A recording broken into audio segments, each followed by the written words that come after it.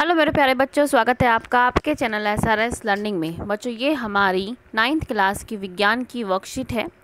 कार्यपत्र जिसको हम बोलते हैं, उसकी जो संख्या है बेटा, वो है पाँच और जो हमारी दिनांक है, तिथि है, वो है सोलह अप्रैल टू थाउज़ेंड ट्वेंटी वन तो ये हमारी जो नाइन्थ क्लास की साइंस की फिफ्थ जो है आज की वर्कशीट है। सबसे पहले आपको करना क्या है, आपको यहाँ पे अपना नाम लिखना है और अपनी जो कक्षा अध्यापक मतलब जो आपकी क्लास टीचर होती है, उनका जो है नाम लिखना है। तो शुरू करते हैं।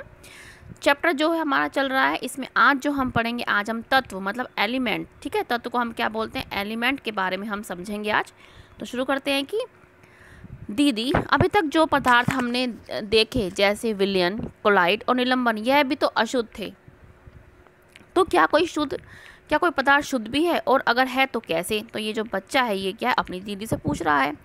तो जो तो इसकी दीदी है, वो जवाब देती है ज्ञान। हमारे आसपास बहुत से ऐसे पदार्थ हैं जिनका उपयोग हम शुद्ध रूप से ही करते हैं। मतलब बताती है कि मतलब बहुत सारे ऐसे पदार्थ हैं जिनका जो हम यूज़ है, ठीक है, उपयोग है, वो क्या शुद्ध रूप में ही करते हैं।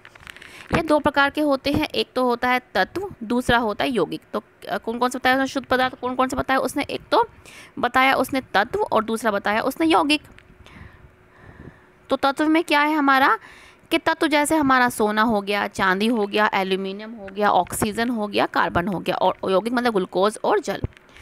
तत्व जो है, वह पदार्थ पदार्थ का वह मूल रूप है जिसे हम रासायनिक प्रक्रिया द्वारा अन्य सरल पदार्थों में विभाजित नहीं कर सकते। मतलब इसको क्या है? तोड़ नहीं सकते।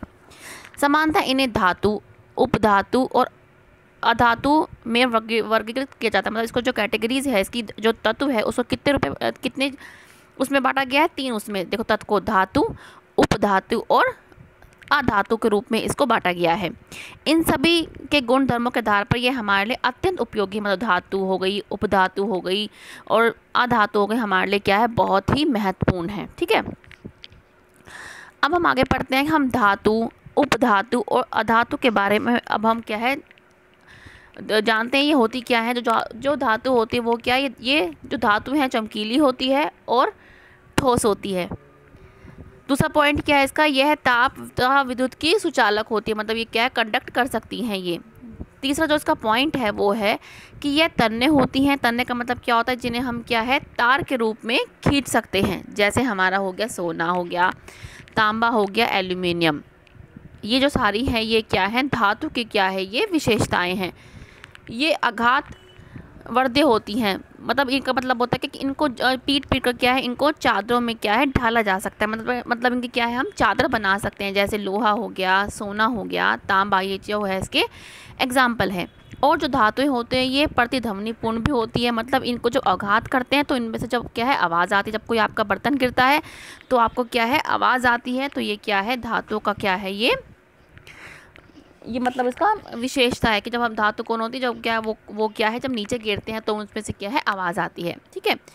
अब हम पढ़ते हैं अधातु क्या होती है। अधातु क्या होती है? जो धातु होते हैं, इसकी बिल्कुल जो है अपोजिट होती है, बिल्कुल इससे अलग होती है। जैसे धातु क्या थी? चमकीली थी, लेकिन जो अधातु हैं जिसको हम नॉन मेटल्स बोलते हैं ये चमकीली नहीं होती।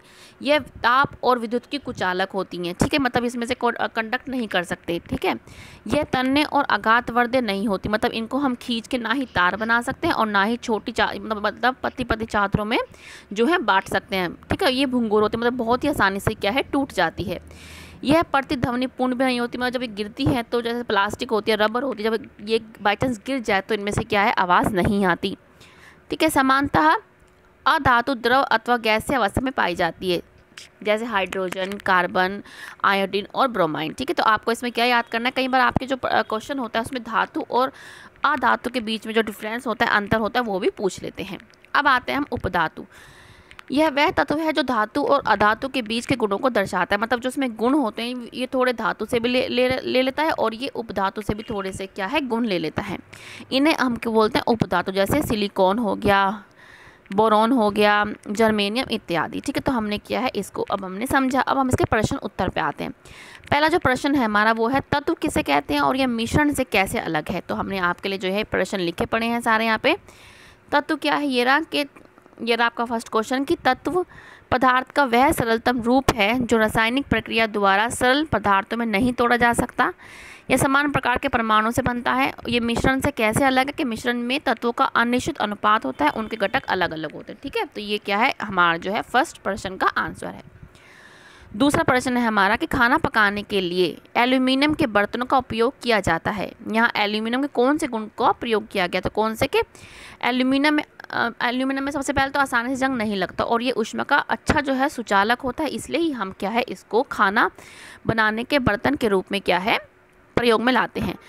तीसरा है, क्या कोयला कार्बन का प्रयोग घरों में प्रयुक्त होने वाली तारों के लिए किया जा सकता है? नहीं। कार्बन तन्य नहीं होता, इसके लिए ठीक है तो जो कार्बन होता है वो तन्य नहीं होता, इसलिए इसको हम, उसके तार नहीं बना सकते। अब जो है हमारा फोर्थ क्वेश्चन है कि आघात वर्धितता और तन्यता को परिभाषित कीजिए। ये हम क्या है? यहाँ से अपना जो है लिख लेंगे।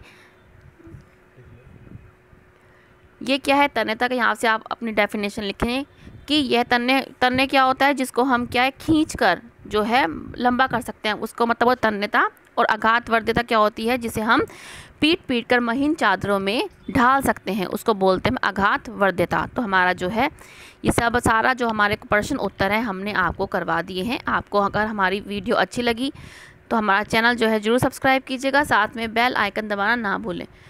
और ये आप ये याद रखें, जो कोरोना चल रहा है, आपको पता है कि कोरोना चल रहा है तो हमें क्या है, कहीं भी जाएँ तो मास्क लगा के जाएँ। दो गज दूरी का पालन करें तो हम क्या है, कोरोना से बच पाएँगे। ठीक है तो मिलते हैं आगे की वर्कशीट के साथ। बाय बच्चों।